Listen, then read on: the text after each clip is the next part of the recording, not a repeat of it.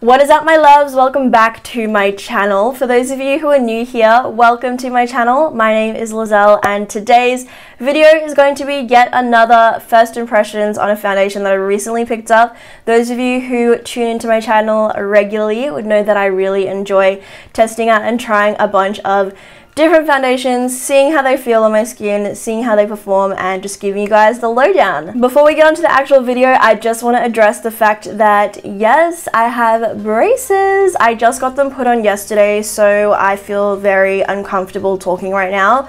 It's really weird because I feel no pain. It's just like talking with this in my mouth is something to get used to. So I feel like my mouth is moving really weird. I don't know. You guys tell me. so the foundation that I'm going to be testing out today is the Giorgio Armani Luminous Silk Foundation. I have heard so many people say amazing things about this. This definitely cost a pretty penny, but I had to see what all the hype is about. It's $99 for us here in Australia, and for those of you in the US, it is $64, I believe. Definitely classed as a high-end foundation. So I've just taken it out of the box. I believe there was like a little um, sheet of paper inside that kind of explains the foundation and how to apply it and stuff. I don't know where I put it, which sucks. So I'm just going to read out what the claims and benefits are online. So it says, capture the glow of perfect skin with this award-winning foundation. Luminous Silk Foundation features an exclusive microfill technology. Its hydrating fluid glides on seamlessly with a silky texture and all-day buildable coverage. It says that it is suitable for all skin types, lightweight and long-lasting, uh, it says to apply it with the unique blender brush for a radiant airbrush finish. I personally don't have the specific brush that is meant to be used with this, so I'm going to be testing out the Beauty Blender and also just a kabuki brush. So from what I can gather, it comes in 15 different shades for us here in Australia and in the US you can find 24 different shades of foundation, which I do find interesting that there is like a difference. But in general, that like we always have that issue is that there are less shades available for us here in Australia compared to overseas. To the packaging, as you guys can see, it comes in this beautiful frosted glass that has a cap and of course it comes with a pump, which is awesome. I love foundations that come with pumps. I find they're a lot easier to work with. And for reference, if you guys are wondering, the shade that I was matched to is shade number four. Alrighty, so let's get on to applying the foundation. I'm firstly going to prime half of my face with the too Faced Hangover RX Primer. Also, I just wanted to let you guys know, if you have been watching my channel for a long time, you would know that I recently finished my course of Accutane and now my oil production has begun again so my face is no longer like normal to dry I feel like it's like normal to like a teensy bit oily. It's definitely not as oily as it was before I started Accutane, but I have oil production again, which is a good thing. So I'm just gonna shake up the bottle. It sounds very watery, which I wasn't expecting because people say that this is very high coverage, so I was expecting it to be a little thicker. I'm just gonna take one pump to the back of my hand. Oh, wow, that is very liquidy as you guys can see it's like sliding around. So yeah very liquidy. I'm gonna take a couple of dots onto my face. We'll just start with that. And i'm gonna take the damp beauty blender and blend it in. It has a, like a teensy bit of scent to it which kind of like slightly reminds me of sunscreen. I don't know why. As for the shades i think that we don't really have many of the 0.5 shades which was interesting because I remember being matched to this shade and I was thinking if it was just like half a shade darker then it might be better but I figured that if it was a little bit too light I would be able to you know bronze my face up a little. So that is one very thin layer. As you can see it does give a nice finish but I can definitely still see like a little bit of my uh, acne scarring poking through. For the most part, I don't really have much acne scarring anymore because it has faded a lot over time. But I'm gonna go in with another little bit of foundation. It's so easy to blend out, especially with the Beauty Blender. I find that it gives a really nice finish, like really airbrushed.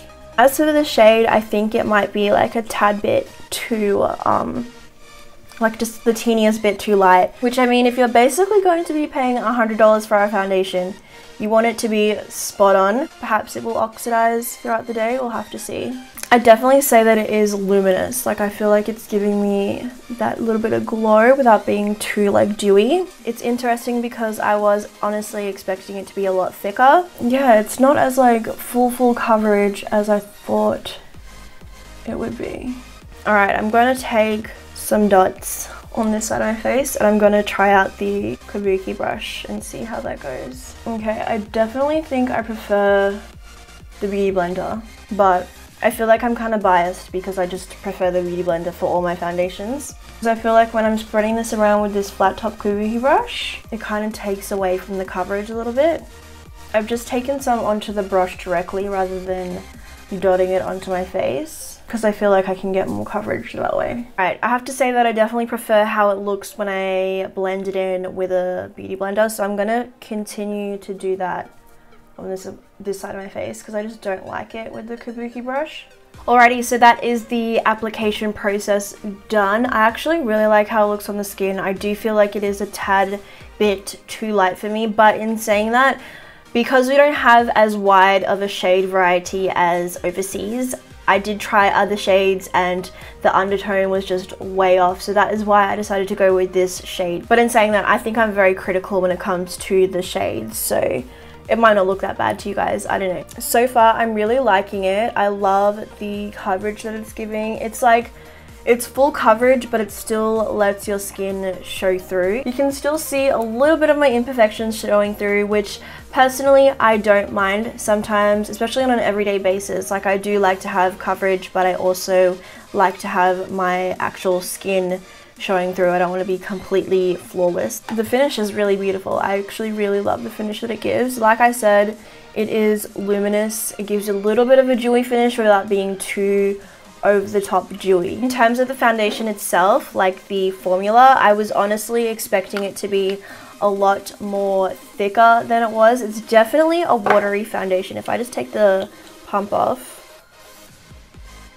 like, I don't know if you guys can see that, but it's already dripping off the pump. Like, it's a very liquidy foundation, which I definitely was not expecting. I was thinking it was going to be very thick and heavy, but so far, I don't feel like it is heavy on the skin. I don't feel like I'm wearing a full face of foundation. With that being said though, I'm going to go ahead and finish off the rest of my makeup and then I will check back with you guys once I'm done. Alrighty guys, I'm back and as you can see, I did go ahead and finish applying the rest of my makeup. I was able to kind of contour and bronze my face so that the foundation did match my skin tone a little more. I feel like the finish is looking amazing. It's giving me the coverage that I want and I had no issues when it came to applying the rest of my makeup on top. It did go on very easily. I also have to mention that I did set my face with some powder just because I always set my face with a powder so I feel like this was no exception. Regardless, I'm always going to set my face. I did use the Australis Ready Set Go translucent finishing powder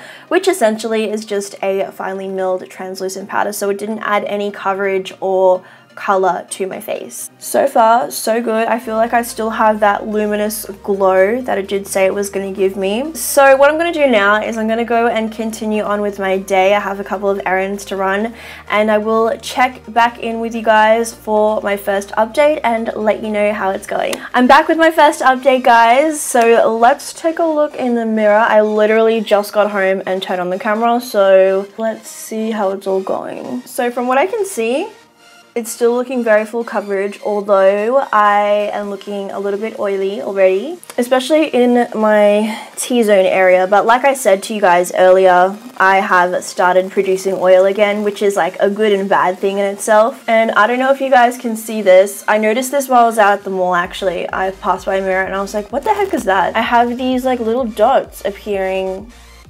here. This is the non-primed side, by the way, so I don't know if this has something to do with it. But yeah, I've got these little dots just kind of forming around here, which is really strange because I obviously didn't have them before I started applying the foundation. But I'd have to say that it is definitely holding up better on the primed side because it's looking a little less dewy than it does on the non-primed side and I feel like the finish of it looks better on the primed side. I don't know, what do you guys think? So far so good guys, it still has its coverage, it's still there, although yeah, like I said, I am getting a little bit oily. So it has only been three hours, which I'm surprised that I'm looking as oily as I am. However, I did go out, it was hot, it was humid, so that could be another contributing factor to that. Alrighty, so that is my first update for you guys. I'm going to continue on with my day and I will be back later to give you guys an update. I'm back with an update for you guys. So it has been nearly 8 hours since I initially applied the foundation to my face. I feel like it relatively looks the same since my last check-in with you guys. Definitely have to say that the prime side has like held it together better. I don't know if you can tell,